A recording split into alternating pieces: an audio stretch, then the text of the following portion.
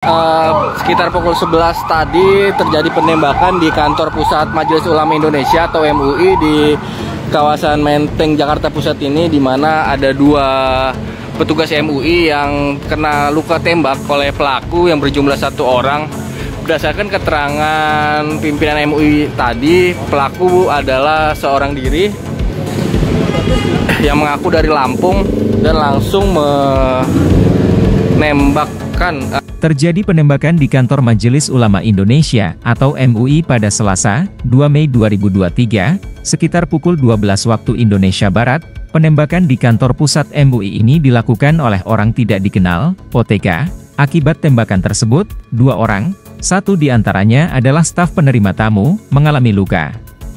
Wakil Sekretaris Jenderal MUI Bidang Hukum dan HAM, Ihsan Abdullah, mengungkapkan ada tiga staf mengalami luka. Insiden penembakan ini bermula saat OTK datang ke kantor pusat MUI untuk menemui ketua MUI. Namun, tidak diketahui pasti apa keperluannya, setelahnya, ia melepaskan tembakan sebanyak tiga kali hingga mengenai pintu masuk kantor dan menyebabkan kaca pecah. Pelaku adalah seorang diri yang mengaku dari Lampung dan langsung menembak menembakkan uh, airsoft gun ke arah petugas. Kita lihat uh, saat ini polisi juga dari Polres Metro Jakarta Pusat datang ke lokasi untuk melakukan olah TKP di mana kaca polisi juga sedang mengecek dan saya coba ke lokasi. Ya Tribuner sampai saat ini polisi dibantu juga oleh Densus 88 Brimo Panti Polri masih melakukan olah TKP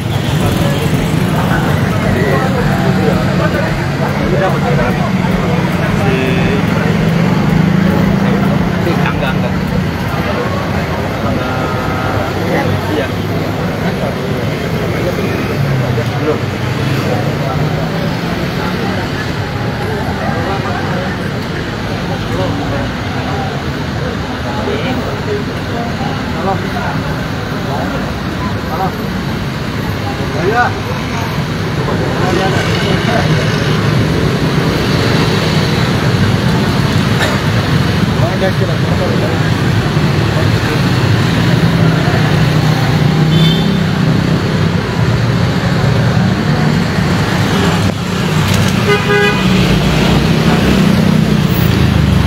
Tribuners penembakan di gedung MUI Jakarta Pusat ini terjadi pada pukul 11 tadi oleh satu orang pria yang mengaku datang dari Lampung hendak memaksa bertemu dengan pimpinan MUI namun karena tak bisa begitu saja bertemu dengan pimpinan MUI pria tersebut marah dan menembakkan senjata jenis airsoft gun di dalam lobi MUI yang mengakibatkan dua petugas.